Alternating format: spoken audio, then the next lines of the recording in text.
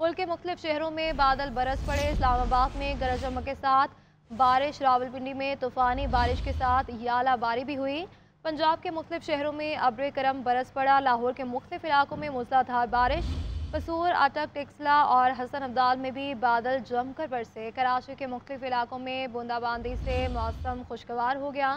محکمہ موسمیات کی آئندہ چوبیس گھنٹے میں مزید بارش کی پیش گوئی۔ اسی پر مزید بات کریں گے فیاض ملک سے۔ جی فیاض، بتائے گا موسم کا حوال بالکل شادیہ، موسم کا صورتحال کچھ اس طرح موسم کی کہ موسم انتہائی خوشگوار ہے۔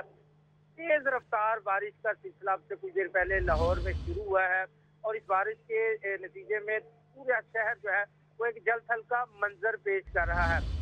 بارش کی وجہ سے جہاں حق کا زور ٹوٹا ہے جہاں موسم خوشگوار ہوا ہے، وہیں واسطہ کی کارکردگی جو ہے اس پر ایک بار پھر سوالیہ نشان کھڑا ہو گیا ہے۔ تمام نشیبی علاقے، اندرون شہر، مکمل شمالی لاہور پیکر road township green town, Johar town Ferozepur road مزہن چنگی Ichhra Gaddafi stadium circular road نظر کے جتنے بھی نشیبی علاقے ہیں، اس وقت مکمل طور پر پانی میں ڈوب چکے ہیں۔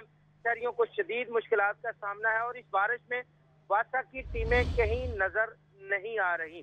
صورتحال یہ ہے کہ نشیبی علاقوں میں پانی جمع ہے اور شہریوں کا کہنا ہے کہ ہر سال مونسون ہوتا ہے۔ تو مونسون کا دوسرا اسپیل جو ہے وہ چل رہا ہے۔ لیکن اس پوری کارکردگی میں دیکھا جائے اس پورے اسپیل میں دیکھا جائے تو مون بادشاہ کا جو محکمہ ہے وہ کہیں پر نظر نہیں آ رہا۔ بہرحال بارش کا سلسلہ جاری ہے اور بارش جو ہے وہ بھی جی۔ انتہائی ٹھیک ہے۔ فیاض بہت شکریہ۔